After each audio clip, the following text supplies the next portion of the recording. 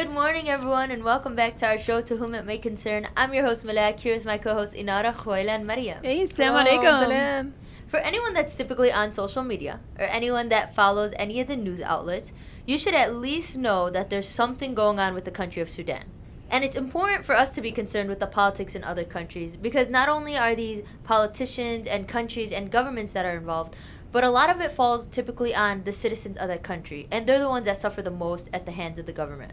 So we decided that it's really important to kind of dive into what's going on in Sudan and break it down so that we all kind of have a basis of what's honestly going on in the country. So what do you ladies think? I think it's important for us to be involved in what's going on around the world and for us to just be like more aware and then for us to not just be so caught up in our personal lives and what's going on here at home. Yeah, I think it's so easy for us to kind of overlook what's happening around the world and the crises that people are experiencing. And it seems like today on social media, especially, that we see that a lot people are really stepping up today. They're not Mhm. accepting anymore what their governments are doing for them. If they don't feel like they're treated as basic humans, they're not giving those basic necessities. They're really stepping up and they're making a difference. And even if you go on social media or you go on the news outlets, a lot of times the people that are at the forefront are the youth. So it's Mhm. it's like young people, you know, like t- young older teenagers young 20s you know mid 20s they're the ones that Mhm. are really vocalizing that if they don't like something they're gonna make a change happen And it spreads like wildfire through the social media. And it's really interesting because I feel like America's education system in general isn't built to teach our students about you know the world and geography and just in Mhm. basic world history. So the fact that you see that change happening because of social media that people are starting to realize what's happening across the world, it, it's astonishing. I think what's happening in Sudan and what really got the news out there, like we've mentioned, was through social media. So if you noticed, a lot of news outlets and you know the TV wasn't capturing it until it kind of spread on social media. People started changing their screens into like blue icons, and so once that spread, it kind of forced them to talk The about news it. to, like, notice. Because I noticed, so I follow like Stay Tuned on Snapchat, Mhm. and literally, you know, I, like it's like a really quick news as to what's going on, and they didn't cover it the day of as to, like what was happening. They didn't do it till like a week later, and then they're then they started mentioning about what's happening in Sudan. And so I'm not sure until like people were talking about it. And I'm sure that's after a lot of the celebrities were also posting about it. And you can tell that they're like the news is really behind on it kind of because this has been going on like we'll talk about later in the episode but this has been going on for months like in itself Mhm. this specific crisis has been going on for months it's not something that started a week ago but Mhm. up until like a week or a week and a half ago you didn't like i personally didn't know anything that was going i didn't even know sudan was like had a crisis until Right. it really started to pick up among the younger people Mhm. and then i saw all these posts and i was like oh maybe i should kind of read about it and learn about it Which is pretty disappointing because it seems like what the opposite is supposed to be happening. Like we're supposed to be getting our news from these news outlets as opposed to them looking at what's a hot topic between us and then choosing to write a story about it. Yeah, that's yeah. I mean, it is. That's true. It is disappointing, and that's why I think it's important for us to discuss these topics because it's just like we, whoever the listeners that we can reach and kind of allow you or help you to understand what's going on in Sudan is really helpful, and it's a great outreach. All right, well, let's get right into it. Like Malak mentioned earlier, it is important to note the history of Sudan. Unshockingly, the British colonized it in 1898, and they governed it kind of differently between the north of Sudan and the south of Sudan, primarily pulling its resources into the north.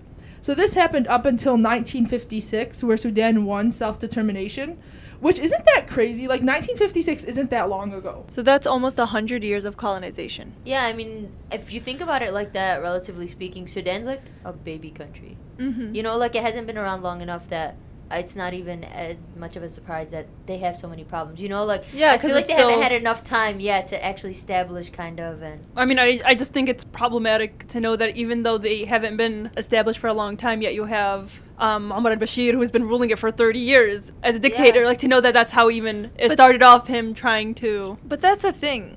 I mean Usually- that's half the It's recurrent. amount of time the country's been around. Yeah, but not just that. Like usually they get colonized and then they have no foundation for a good government to govern its people.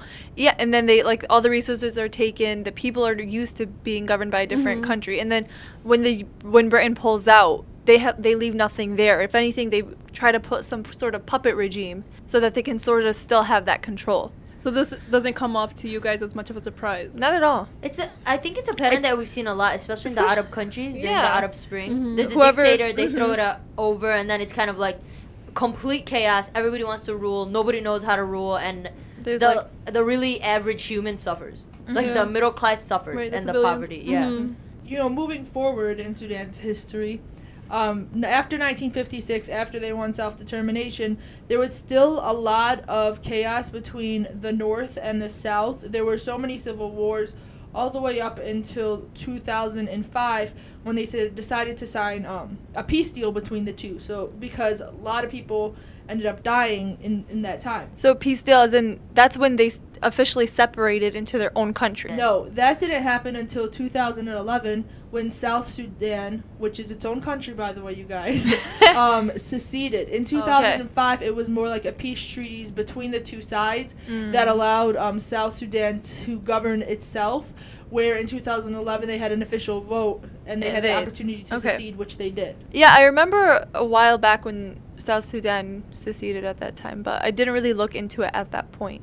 I just like looked up a few facts And that's then pretty moved on. recent. Twenty, you know, 2011. I mean, in 2011, that's like eight years ago, a whole new country was starting and developing.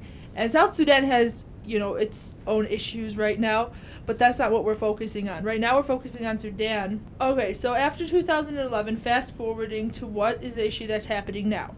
Recently, in April 2019, al Bashir, who was the dictator, like we mentioned earlier, for over 30 years, was actually bought down by army takeover um, in the middle of pro democracy uprisings in the country. So he was overthrown, but it originally started by The uh, protesters. Right, like an, they had economic issues, so like gas prices were going up, food um, prices, and I think they had even food shorter, for shortages. Yeah, so the Sudanese Professional Association, which at the SPA, is actually people who originally started uh, call for these uprisings, and they were they actually were doctors and local unions that banded together that called for a democracy. So Hueda, you should feel proud. Look at what you guys, your doctors are doing. oh yeah, around the world. So what the issue is right now is that after al-Bashir, you know, went out of office, to replace him was a transitional military council that said they were going to remain in power for at least two years. And the people didn't like this, so they decided that they were going to continue to protest in the capital of Sudan. Yeah, and military people from the military decided that they were going to go and clear these protest areas, and they used violence, which is what we're at today and what all the social media topics are right now. And their original protests were non-violent protests. They were like sit-ins. Yeah. So the people never had violent protests. It was they were met with violence though. That's not surprising either. It's always that the government takes a more aggressive stance when it comes to like the people. Because they feel threatened. Exactly. Even though it's just words and just. I mean, I guess it has a bigger effect than if they were to be violent, but. Wait, so I mean, before that, we had the civilians and the military talking over. So once um, Al Bashir stepped down. stopped down and he was arrested, you had them having conversations. But as soon as it didn't go the way that they wanted, the military. The military. And there was a disagreement. That's when they decided to kind of like use more of a forceful force. They took over the government and started executing and, And now killing peop- people. Yeah, people are getting killed. Women are being raped. Kids are being Mhm. taken away from families. Like it's, It's just disgusting. Yeah, found- it's, it's chaotic. It's all, it's pure chaos. Like nobody knows what's going on. There's no The sense of, like- Yeah, there's a blackout. Yeah, there's no safety. News outlets aren't allowed really in Sudan. Mhm. Like And they the military is doing that purposely, obviously, so that They can they try to don't see so contain it. people right. So people so they don't have access to other countries to seek help and to like Mhm. you know or to even report what's going Downplay on. it, yeah. Mhm. I don't know why it always shocks me when I see that governments turn on their own people. You it's not even like- the government, it's the army. And but it's like you're It's yeah. the- let's it's take the, it's the army that's supposed to yeah exact- Protect you, like that's Mhm. what And you're it's for. Not, it's not even about their role as the army. It's more the role of like you're civilians just like the people. You know, like Mhm. if you're destructing your country and you guys are going to through all this turmoil and there's nothing left of Sudan after this gets resolved, like what was the point of it? You know, like these Mhm. are people that your neighbors, your friends, your families. Like I don't know. It just I just never understand how people are okay with it. I just never understand when people go against their own people with violence. You know, Mhm. I just It's different when an outside party comes and tries to terrorize, but like when the own country is killing their own killing people. their own people and they're just destroying each other from the inside out. It's it's ridiculous. Did the military itself want? So what they want is obviously like a, they want a democratic country where the, the, The civilians people- have yeah the people want that. But did the military originally agree to that, or were they supportive of Al Bashir? No, they didn't support al Bashir, but they wanted to take control of the government for a couple years until the country can quote unquote get up on its feet and then Like- start a democratic system. But of course, the people probably didn't have trust in that, and that they'd Well, the say for a couple years and then. The people going into this council aren't great people. So if we look at there's the General Abdel Fattah Burhan who's on the council. His second in command Mohammed Hamdan Dagalo, which Hemedti is like what people know him as. He's the second in command and he oversaw the genocide in Darfur. And he's the one who went to Saudi Arabia and is getting millions of dollars in support from Saudi Arabia in order to keep on doing these military raids cuz he's the one who well, according to multiple sources, he's the one sent the army to do violence against these protesters. So yeah, they didn't trust in the people in charge of the, the army. So why would they think, oh, they're only going to be here for two years? They'll probably just start another sort of um, dictatorship. And it's surprising to see who's really at the forefront of this crisis. It's really the women and the youth. Um, for Sudan in general, there's 63% of their population is under the age of 25, and 43% are under the age of 15. So I mean, almost half of the population has More than half. Yeah, hasn't even.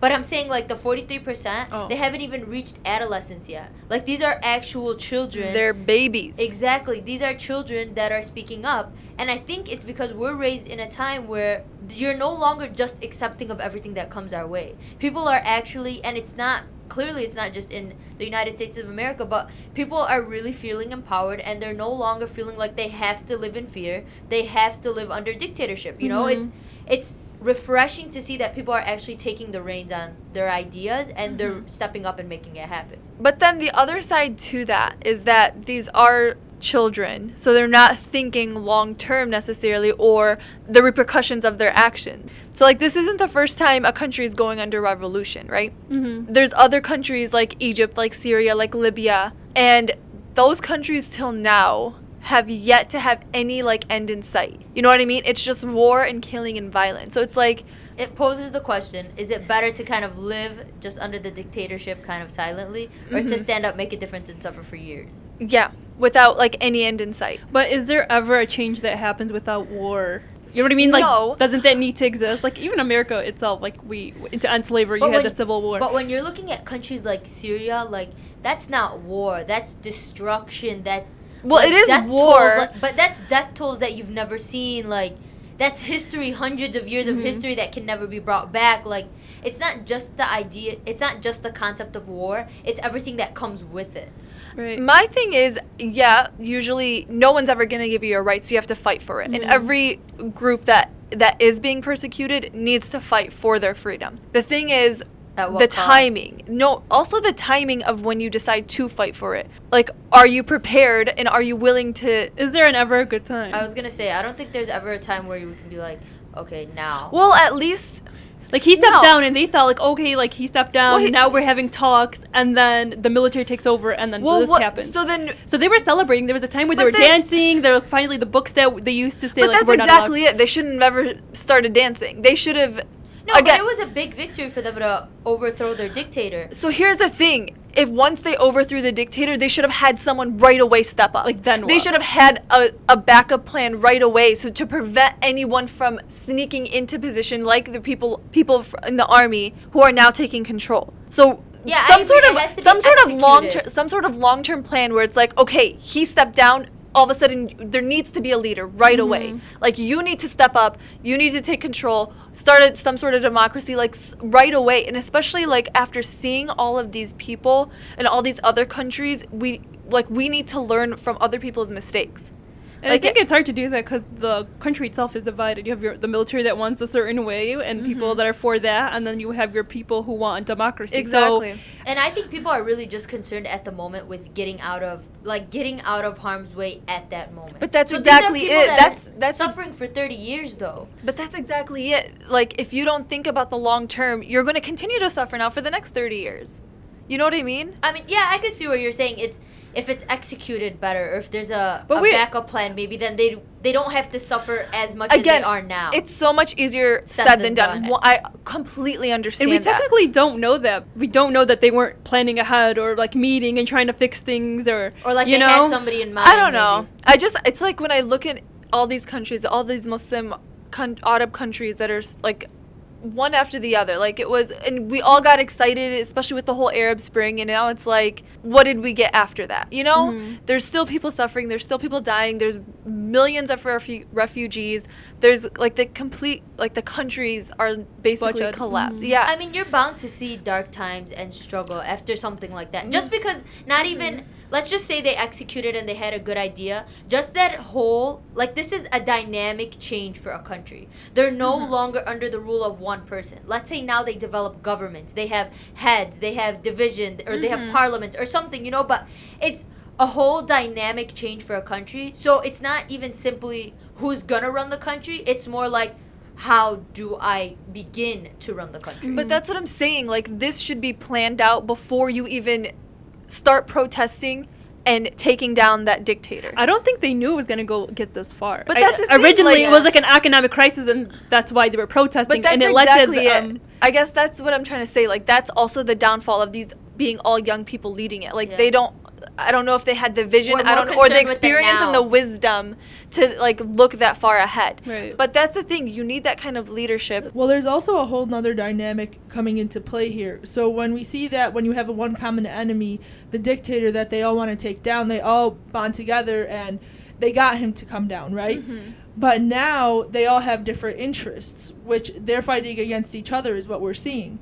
Mm-hmm. So it's easier to band together when you have a common enemy. And I think, like uh, when I listed those statistics, the 63% and the 43%, it's also a lot of things that we don't think about is these people may be at the forefront of the fight, but when it, when it comes down to it, more than half the population can't even vote.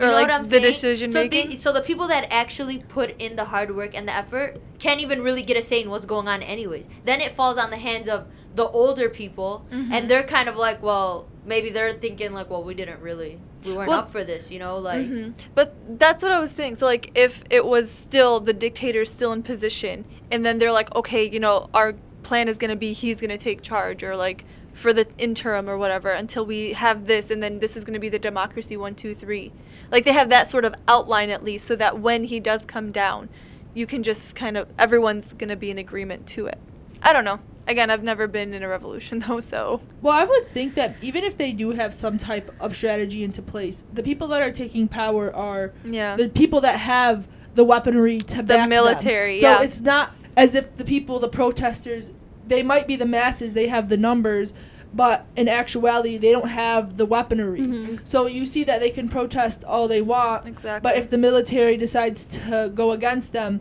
that's why it takes international kind For of an international stance that needs to be taken against Sudan. Like if you look at what the UN is doing right now, it's kind of pathetic. They're having a meeting about it. Like people are dying, and Honestly- you're having a meeting. You're not even going to go Mhm. and try and condemn them for what they're doing. right, they have to go see what's going The on and what's happening. the un is pointless the, yeah, I was gonna say the United Nations has never really Done like, any- offered aid in any of these situations that we've seen in history. They're more of a oh we're sitting there and we're gonna get to it, but I don't. they've no, never or if anything, they'll offer money and aid, but it's not like actually solving the, the problem. The real struggle with the UN right now in terms of what we're seeing is that China and Russia are actually backing what's happening in Sudan right now and the interim government. So, and who takes a heavy part in the UN voting? Oh, no surprise, China and Russia. So they're blocking any type of Mm-hmm. real progress that the UN can do. So, I mean, we're not going into a discussion about how the UN is just a messed up system in general, Mhm. but that's what's happening. So China and Russia are blocking any, you know, Yeah. UN real type of Action. yeah of action but then we also have you know europe kind of funding the generals now to keep refugees in africa because we have this kind of influx influx of refugees trying to go through sudan and end up in europe right from Mhm. like ethiopia and other countries so what europe is doing is giving aid to sudan to keep the refugees there instead of keep sending them so it the international sphere sudan is getting a lot of money and support from them and that's kind of the issue Mm-hmm. And I think when we like how we said earlier, it's easier when the whole country is fighting against the common enemy. And for all we know, there was agreement about what was going to happen next. But you know, now you have the military with the weapons pointing at the people that wanted the power. You know, and like so many other different players, I'm sure, are getting exactly. involved. It's it's a mm-hmm. power struggle, and you have the innocent people that thought they were fighting for democracy, Yeah. and they have guns pointed at them, and they're like they're just doing like quiet protests, and they're just there's no violence on their end, but they have all these weapons and these killings and these murders happening, and it's kind of like they don't know what to do anymore. Mm-hmm. They're I know. they can't trust anybody from either side, so. We always think of it as such an innocent and pure idea the the interest of democracy and the people mm-hmm. and then we forget to look at the power plays happening so for example sudan has access to the red sea which is one tenth of the world's oil is shipped. So it's there have dre- like geographically a good place to be in and hold mm-hmm. political power where other countries are interested in them being stable in the sense where they just want someone that they can use as a puppet in a sense. Exactly. or they can pay off in order to get what they want. And we forget these these plays when it comes to such an innocent idea of democracy we mm-hmm. forget about money we forget about power we forget about what's happening in, in general Exactly. And then those are the factors that have other countries getting involved there and kind of trying to manipulate the situation that in a way that benefits them. and I don't know how realistic this idea is, but I just think that when you're put in a situation like this, the most ideal thing is to go 50-50. Like they mm-hmm. have their Lieutenant General Abdel Fattah Abdurrahman Burhan, who's been in charge for the military council. You know, he's the one that's been taking over the country since the arrest of the dictator. Like the least you can do in order to keep things calm and to keep the country moving is to take one or two civilian representatives and just include them in the process. You know, like I agree. just to allow the people to know that yes you have representation that's all it really takes especially when you take a group of people that have been under dictatorship for so long any kind of representation is something you know that's progressive in itself I agree, but a lot of times people are kind of like all or nothing. So like the military is like, no, I'm going to take all control, and then the mm. people are like, no, I want like a full democracy, 100% right away. And it's like that's just what keeps the fighting going, rather than trying to come to a compromise and be like, okay, you guys will take control maybe for this long, and then we'll start voting, and then having like what you said, having um, these two civilians be our representatives. Well, I think that's what there was. Like, we are gonna, for the meantime, we're gonna try to figure out Mhm. how to like, Run. Yeah, how should we run? Like, what should be our next play? Mhm. But then the military took force. You know, like Yeah. there was that conversation. But it's always one group wanting more or wanting. They think that what they're gonna do is the best, or and that's what leads to our downfall it's pride it's ego it's power, it's greed. it's hubris. Yeah, it's just nobody wants to share with each other. More oftentimes than not, countries that are led by dictatorship are the countries that don't last the longest.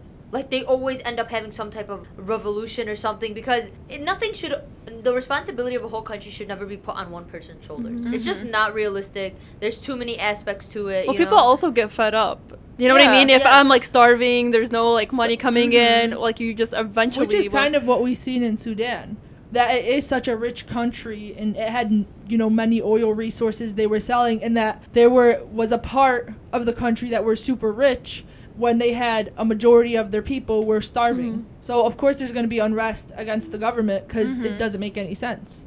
And like you said, originally these people were arguing and they were angry, not even solely because of how the country r- was run. It was because food prices were insanely high. Mhm. Like cost of living was what they couldn't afford, and it's also like you're burying your own people at the same time. Yep. You know? It's funny people per, people forget that a country is its people. You have no Mhm. people, you have no country. You can't be a whole country by yourself. they just want the all the resources for themselves. What can we actually do now that we had this conversation? What can we do as a people?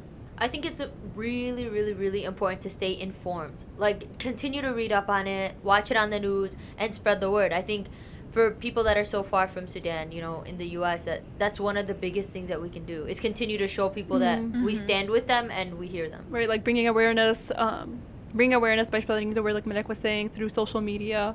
Um, also donating to like unicef for children that have been displaced or families that Mhm. what they're experiencing i don't um, a lot of people are struggling to find an actual legit money source to help the people the sudanese people but um, i know unicef is doing something for the children um, they say call and text your congress let them know what's happening and like pushing that forward letting them to kind of get involved and make a difference Yeah, you guys. There was like a Instagram scam actually where someone was like, "Post this and one dollar will be donated to Sudan," but that was actually false. So just check up on your resources on what you're posting and where your money's going. Make sure to check out fake news as well. Check out multiple news sources to get the full truth, just in general. And of course, most importantly, pray for them. Make as much dua as you can for the people. So it's interesting that like if you go on Twitter and what people are you know are hashtagging um, hashtagging you know Sudan massacre and what's happening, and a lot of people are speaking about, about how like you know when the Notre Dame Cathedral burnt down. Mm, they uh, like automatically got news um, sources talking about it and Stupid so much money and here are people's lives you know being killed and women being raped and no yeah. there's no voices people are It was a delayed response. Yeah. And, that, and they only responded because of people on social media. It's funny because I was actually in my class one time, uh, during my class last semester when that happened. And when Notre Dame went on fire, my white professor spoke about it in class that, that same day. And then she was like literally almost to tears. She then sent an email uh, where she mentioned it, something about the Notre Dame. And then the next week she also mentioned it again Wow. three times and then it's funny because the week or a couple weeks before that that's the new zealand shooting happened and then a couple weeks after that the synagogue was shot up and Nothing was mentioned? no mention when people's lives were like actually affected and but killed. over a building she mentioned it over three times i was so annoyed That's and so sad. it was so i was so disgusted by that i'm like really I think these people, like people in power or like professors and stuff like that, they don't want to mention certain things because they don't want to make it seem like they're picking a side. i don't even think you know she- what I'm saying? no it's not no when people are dying I mean, I agree. It's a humanitarian, like just as no, a no. basic human. I honestly think she was just very like she had no idea. She was just that ignorant. oh, or like she was so, And the she was thing is- unmoved by it. Like Yeah, and then she'd always mention in class like, "Oh, you know, the diversity cuz it's at UIC, the diversity in this blah blah blah," and then talk about it. But like when it actually comes to really knowing about other people and their struggle, completely ignorant. and that's sad because that shouldn't be accepted by Mm-hmm. a professor at such an esteemed university. But I mean, UIC did mu- send out an email and actually saying something about the New Zealand, which is Well, really nice. she So New didn't Zealand, like, so read it. UIC, the institution itself, did speak oh out yeah, I'm not it. talking about her. I'm, I'm going to not defend the talking place I work. In. yeah, I'm not talking about the the The the university. university. I'm Yeah. talking about The- her specifically, right. and especially like the stereotypical white professor. Yeah. I don't know. I think Huela, a lot of time why you know your professor probably didn't speak out, and a lot of people didn't speak out against it was because the people are black, they're African, they're Muslim, so literally they have all these things against them that people are don't want to really say much. Or they just relate to people who they identify with or they mm-hmm. look like. Branching off all the university talk, I did want to give you guys an update on the Jason Hill and DePaul issue. Since Ifa isn't here, he's been releasing articles that state that um, they should disband Students for Justice in Palestine and all BDS initiatives. Uh, He's called for physical surveillance by Homeland Security and to check all students' immigration status that are in SJP, which is funny. Um, he also released articles discussing how Islam can never be um, compatible with American values. And so these are all super upsetting articles that he's released that are making his students feel endangered and threatened for the rights of freedom and showing a lot of bigotry. And this is happening here at home in Chicago. Yeah, I, I honestly think it's pathetic. But I also think it's funny that he's in such a position or he's like at that point where the only thing he can do is try to attack the students. Like this is the most basic human right you're guaranteed even especially as an american. That one freedom that we all hold on to is the freedom of speech. And mm-hmm. i just think it's so funny that he's immediately trying to it's not even on an intellectual level that he's trying to battle these students. It's more mm-hmm. like check their immigration papers. Like Yeah. sir we're born here. These people that are arguing with you are born here. Like it's just a waste of time I don't effort. know. And those are, but like that kind of people are the people that, like, if he was the dictator of Sudan, he'd probably be doing the same thing. You know what I mean? Like, Yeah. that's the attitude, and that's like the sort of, the tone yeah, that creates such a hostile environment. And then, depending on how powerful you are, it can actually lead to destruction and violence. Yeah, and that's even seen through Trump. Mm. I mean, him alone, he is the cause of so much phobia and like Mm-hmm. of so much attacks and ostracizing of not just the Muslim. I mean, especially the Muslim community, but not just Muslims. It's minorities in general. And So hate crimes, and yeah. it's like monkey see, monkey do. Honestly. it's just funny to me he's in a position of as an educator as a person who's supposed to have an open mind who's supposed to preach wisdom to his students and knowledge and he's the one who's spewing hatred and fear and causing all this unrest. Mm-hmm. Thank you so much to everyone for tuning in and listening to this week's episode of To Whom It May Concern. Please subscribe, like, and follow us on social media. We appreciate all the support you guys give us and all the feedback that we receive. If you don't already follow us, you can find us on Instagram, Facebook, and Twitter at The Modern Skeps. And please continue to tune in every week on Tuesday mornings. If you have any ideas you'd like us to discuss, you know you can find us and DM us on social media, or you can email us at modernskeptics at gmail.com. Sincerely, the modern skeptics. P.S. If you are neutral in situations of injustice, you have chosen the side of the oppressor.